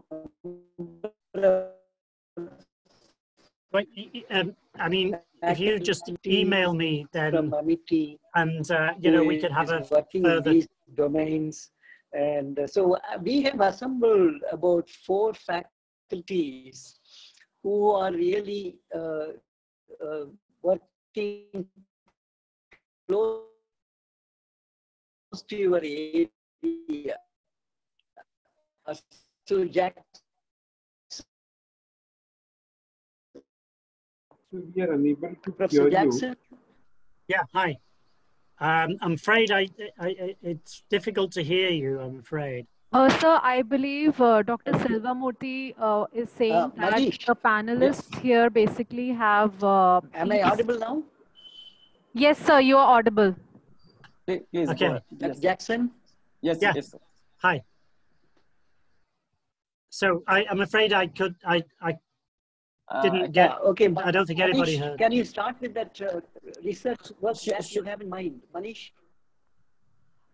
Uh, Uh, Manish, you can start with that. Your, Dr. your Manish, uh, you you wanted to follow work this, with uh, start with the Sure, sure. um, So I will share the screen and the presentations which Okay. have been uh, made by the panelists. Uh, then uh, we all be able to see it. So. Yeah. Okay, Okay, so- I. Yeah, Uh, Please go. ahead. So, uh, Professor Jackson, actually here we are going to share with you, with you some of uh, our uh, research works, uh, Mhm. basically uh, based on the membrane proteins and some other, uh, you know, some involve, involvement of the other membrane proteins in and targeting some, you know, diseases or something else. So we have here a panel of some uh, faculties who is working on this area, and then uh, we'll talk to you, we'll discuss with you on this, and we'll uh, look forward from you to if uh, we can have, you know, further uh, link with you or linkage or interaction. uh, Professor Jackson. Jackson, can I request you to please stop sharing your screen so that I can? Yes, thank you so much.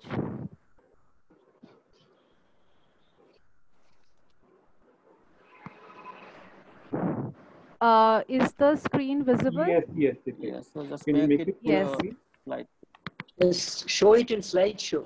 Yes, sir, I have uh, done that. So I would request uh, Dr. Manish to please uh, start. Sure, sure. So uh, uh, basically, uh, uh, currently I'm working in the area of uh, biochemical, biophysical, and structural analysis of uh, sodium proton antiporter, that is the NHA antiporter. And uh, here actually I'm working, uh, I'm, I'm trying to find out, find out uh, the crucial residues which are important for the ion transportation as well as pH regulation within the cells. As this antiporter actually very important for you know maintaining the homeostasis within the cell within the cells by uh, uh, by regulating the cell volume and all. So uh, and also this this study is very important as uh, the homologs of this protein is also present in humans, which where this is called uh, sodium proton exchangers or sodium proton antiporters. So they are they are involved in hypertension and some kidney diseases as well as heart diseases too. So somehow Uh, after the studies on this uh, uh, bacterial cells uh, um, model, uh, we want to plan to we are we, we are planning to you know implicate these outcomes and studies on the human to, to target the human diseases somehow. So here uh, uh, we are we are uh, we are doing um, my group or we are doing you know just site-directed mutagenesis and on the particular you know selected residues that have a proposed role in a binding as well as pH regulation, and then further somehow we actually predict how uh, uh, means uh, how that particular residue has an important role for that particular purposes. So in that directions, uh, we are actually pursuing our work here.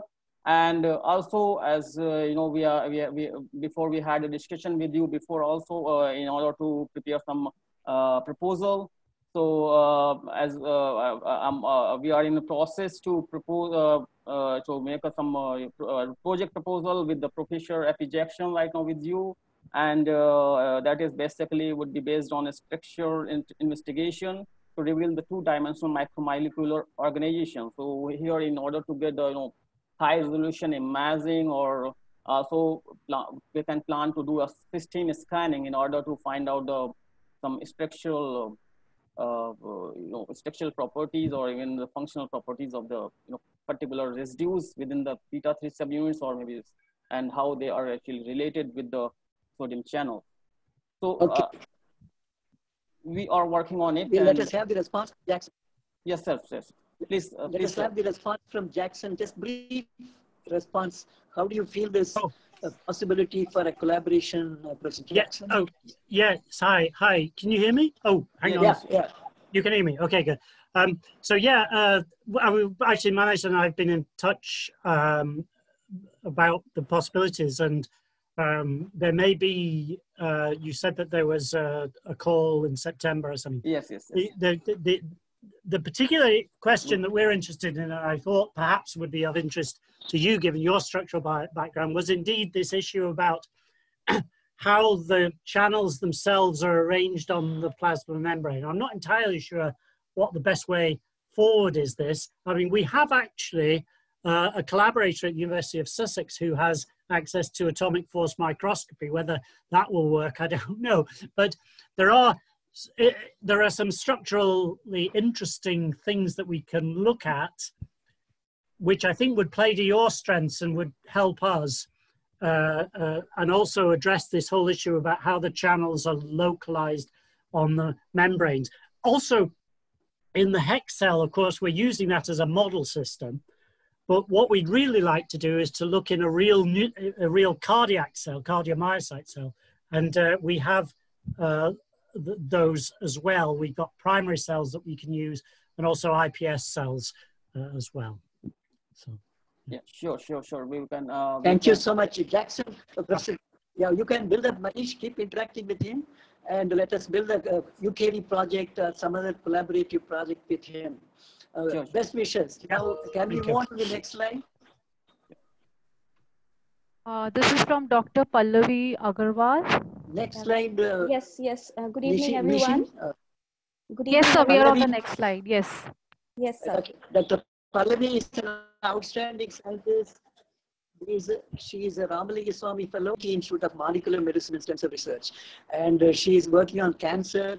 Over to you, Pallavi. Uh, what do you have, your thoughts? Yes, uh, thank you. Thank, thank you so much, sir. Thank you so much, sir. So, um, Professor Jackson, actually, I don't really work on ion channels on membrane proteins, uh, but uh, I definitely have a lot of interest in cancer and cancer epigenetics. And that interest actually was developed when I was doing uh, my postdoctoral training with Professor Steve Jackson at Gurdon Institute. And because he is a you know pioneer in DNA damage and repair, and I was interested in epigenetics, so we wanted to combine those. And what we showed actually that um, um, one of the epigenetic enzyme, which is G9a, it can potentiate the anti-tumor activity of uh, chemotherapeutic agents, uh, which uh, are used for treating various cancers. And from there, I took forward. And currently here, as you can see here, my research focus is quite multidimensional. Uh, my main aim is so that uh, I can actually develop uh, some novel epigenetic based molecular therapeutics for ovarian and breast cancer targeting their pathogenesis and also the chemotherapy, um, uh, chemo and radio resistance. Because in ovarian cancer, we know that there is um, a relapse and recurrence because of the surge of stem cells and also because of the acquired uh, drug resistance. And these are uh, major factors that lead to high mortality rate in ovarian cancers. And uh, as you were also discussing, and uh, I have also read in papers that um, the, um, the alpha subunit of sodium channels are overexpressed in metastatic ovarian cancer cells. And I was wondering, I mean, the question that came to my mind was, what is the contributing role of, of sodium channels in cancer relapse? And I think that is a pertinent question, and that's something I would like to talk to you further later on. Yeah. I can Yeah, thank you, thank you, Yeah, Dr. Pallavi. Uh, Professor Thank you. Jackson, uh, your immediate gut, gut response, gut feeling. um, the, the, that, a- as I mentioned very briefly, I I suspect that the sodium channels in the cancer cells are doing something quite different from what they would normally do in a heart or a neuron. and uh, there are some interesting suggestions. So uh, there's a guy called uh, Mustafa Djamgoz in London at Imperial College who, who has done a lot more on this, and Bill Brackenbury in Leeds as well. And uh, so they have come up with an idea that the uh, the sodium channel can interact with the sodium proton translocator. Right. And the idea is that the sodium channel is there to stabilize this sodium proton translocator. So basically, it's a way of the cell spitting out protons, which would then acidify the local environment. And we know that these so the, these cancer cells, because they're a bit unbalanced, they do tend to leak out their lysosomal enzymes. And so one idea is that this is really a rather roundabout way of the cell um, activating their lysosomal enzymes in the extracellular matrix. I haven't, I'm not an expert on that. I don't know if that's true. But anyway, that's one idea that has been suggested. Yeah, thank you so much. Good, and I'll, I'll thank you. get back to you on that. Yeah, yeah, yeah, get in touch. Thank you. Yeah, thank you, thank you, Pallavi. Move on to the next, next presentation. Um, sir, the Next next, uh, sir, Dr. Ashima, I would uh, request Dr. Ashima to please uh, Yeah. introduce her. Professor, Dr. Ashima Bhattacharjee is from Amity University, Calcutta. She is a Ramanujam Fellow and uh, uh, she is interested in membrane-bound intracellular copper transporters in pediatric onset disease. She has been working in that area and uh, she has some thoughts to share with you. Over to you, Dr. Ashima Bhattacharjee. Thank you, Professor Selvamurthy, and uh, thank you, Professor Jackson, for a wonderful talk. And I would like to first introduce myself. Um, I did my postdoctoral fellowship with Professor Svetlana Lutsenko in the Department of Physiology at the Johns Hopkins University Medical School. As an independent PI, uh, my current research is focused into understanding the role of cellular copper homeostasis in neuronal differentiation and the overall goal is to understand the etiology of neurodegeneration associated with copper metabolism disorders. And these disorders are caused due to mutational inactivation of the P-type copper ATPases. And uh, both copper deficiency and copper accumulation disorders involve neuronal symptoms, which emphasizes the importance of this metal in the physiology of the neurons. Now, apart from uh, these neuro, uh, neurological symptoms, uh, specifically copper accumulation disorders, they involve hepatobiliary um, carcinoma. Therefore, I'm also trying to uh, investigate how mu uh, mutation, genetic mutations in this P-type copper ATPases affect their structure, function, and intracellular localization, and also the molecular pathways that are triggered by excess intracellular copper towards hepatobiliary carcinoma uh, in the in case of copper uh, accumulation disorders. So in this respect, um, I'm looking for a collaboration where I could image um, metal, this uh, specifically as I'm interested in copper, if I could image this metal in either fixed or live cells. And also I'm uh, at a much later phase, I'm looking into doing some tissue imaging as well. Um, I, I, I can ask around actually. I, it, it, it, it, there is a, now this is, I'm trying to remember the details, but I think there are ways of doing this. Um, but to be honest, I'm not entirely sure how you would do it. But I could have a, a, a ask around in Cambridge because I'm sure that there will be people who know how to do it. okay. and so yeah, absolutely, I could I could dig around and, and, and yeah, sure. Then And I if- can and- and always if- yeah. you. Yeah. okay, good.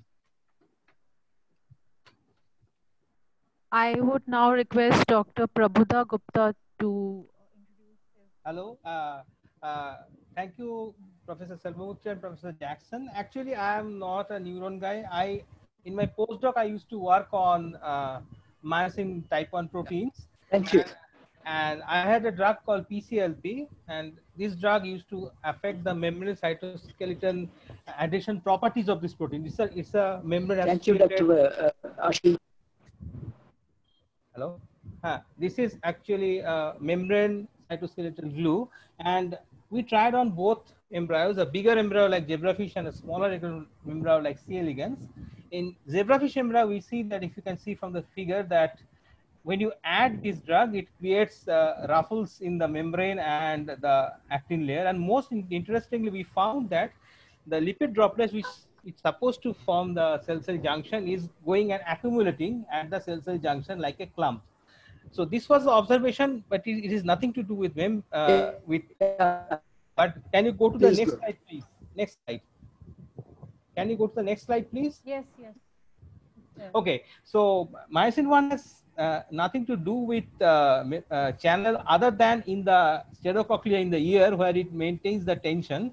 But my uh, uh, point of uh, study has shifted from there, and now I am looking on the structure function analysis of putative host lipid transporter protein in M. leprae. Why I shifted because when M. leprae attacks nerve, it forms lot of lipid granules, and from there it pulls the lipid on inside itself. It is same thing happen in tuberculosis when it affects the lungs, and there foamy macrophages form.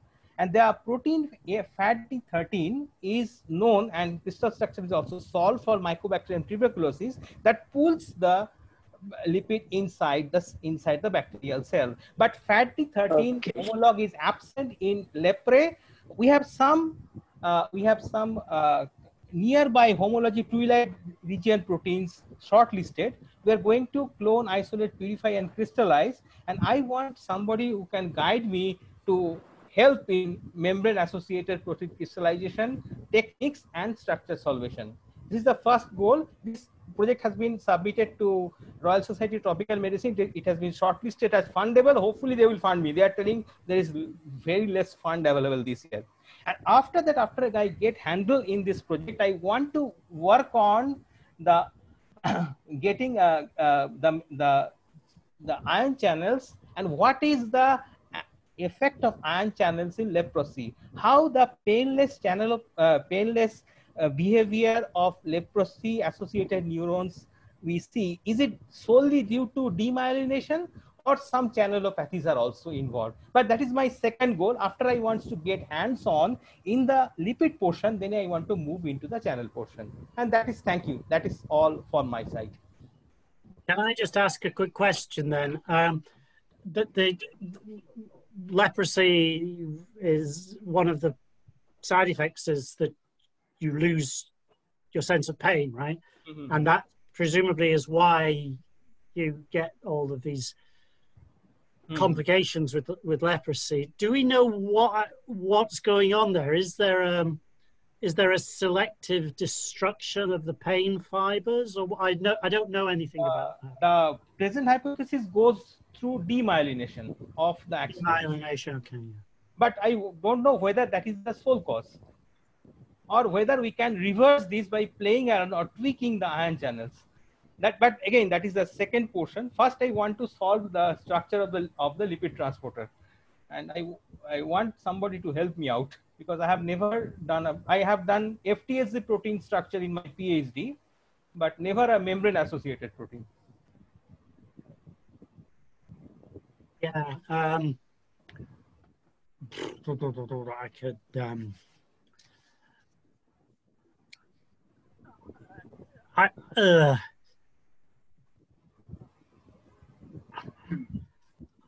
I mean, I, I, yeah, I could. I think I know some people who work on memory, but uh, not these, not this one. Um, yeah, okay, I could have a have a look round and see, but I can't promise you anything. Okay, thank you, sir. Uh, the next slide is by Ah. Dr. Ayan Rai Chaudhary. Good afternoon, everybody. I thank all the dignitaries who are present here, including Professor Selvamurthy and especially Professor A.P. Jackson. I am working with plant vacuolar ATP binding cassette, which is known as ABC transporter. And earlier it was known as multiple resistant protein, MRP. So it's a plasma membrane or vacuolar membrane bound transporter protein which sequester many xenobiotics and heavy metals. And Arabidopsis thaliana, ABCC1 contains two nucleotide binding domains, NBD, and two uh, transmembrane domains. Uh, Earlier uh, in my work, I found a serine triad is present just before the second NBD2 domain. And among them, You can present the last serine slide. is getting phosphorylated in presence of arsenic stress and helping in transport and sequestration. We checked this by preparation of different mutants and the work was done in yeast and Arabidopsis tDNA mutants. For phytoremediation strategies in metalloid polluted areas, specific transporter proteins are the key components for both accumulation and detoxification of metalloids. ABCC1 in yeast cell show enhanced tolerance in presence of heavy metals. ABCC1 enhanced arsenic tolerance and accumulation in vacuoles. Uh, And uh, also Dr. the phospho ABCC1 in presence of heavy metal stress may be involved in different transport signaling. And for my future work, I have an interest. Okay, thank you. Dr. Ayan, thank you. Yes. Yes, sir. No, I, uh, thank I- you. Now he has got you, the sir. point. thank you, Uh, sir. keep interacting with uh, keep, Yes, sir. uh, keep interacting with him. Dr. Jackson, uh, now uh, thank you so much for your uh, patience. Now can we see Professor Jackson on the screen? Yes. So Actually, I Yeah, thank you very have a future interest. Ian, that Yes, sir. Yes, no, sir. we will discuss that uh, later. You you can just discuss with Professor Jackson later. And Mishi, just switch off the Yes, sir. uh, the other screen. I thank you very Uh, much for this very useful interaction. I have just selected a few people who are in this in your domain as well as close to the membrane, uh, the kinetics.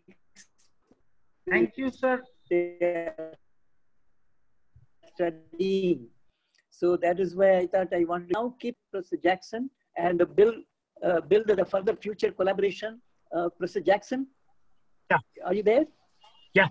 Can you can you see me? Can you hear me? Professor Jackson? Yeah. Can you see me? Can yeah, you hear me? Yeah, yeah, Yeah, Okay. Good. Right. yeah, yeah. We can see you.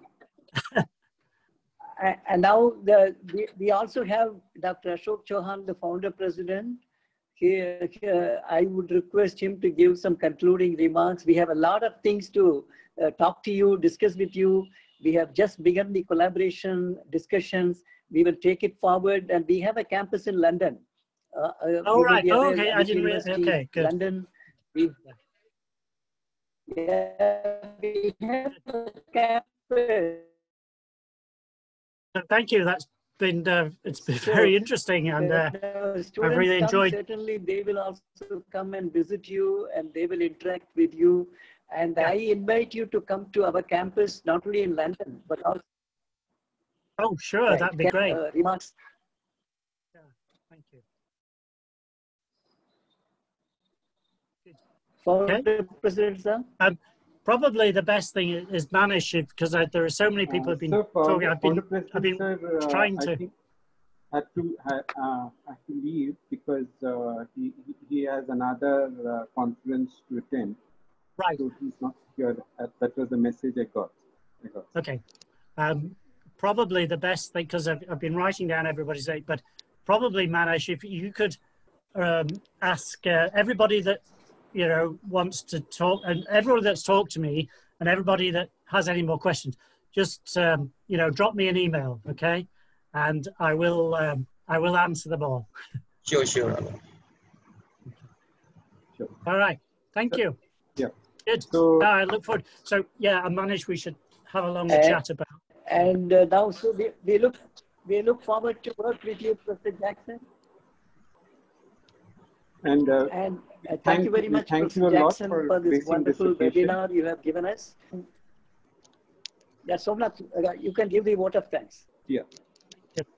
Uh, so, Professor Jackson, thanks a, thanks a lot for the wonderful uh, talk on sodium channels. It was a really uh, enlightening experience for all of us, and uh, we hope that this doesn't end here, and we take it forward uh, through either one of the panelists here or from others who are listening to you. And there have been lots of messages, the messages, lots of questions also.